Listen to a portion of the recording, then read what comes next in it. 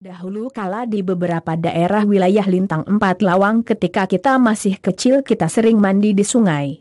Orang tua kita pun sering melarang kita agar jangan sering mandi di sungai Lintang atau sungai Musi.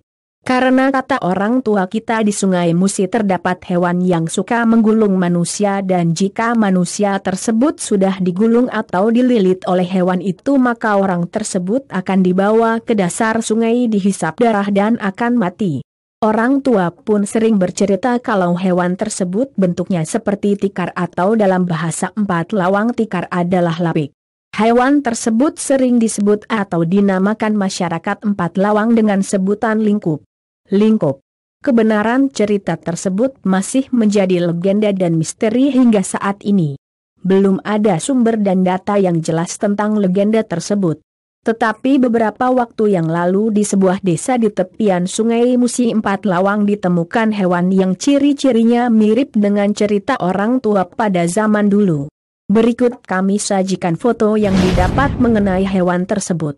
Apakah hewan inilah yang dimaksudkan oleh orang tua pada zaman dahulu?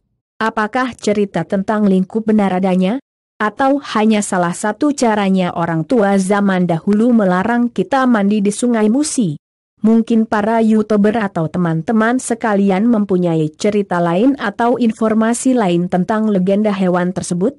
Silahkan komentari cerita ini di kolom komentar.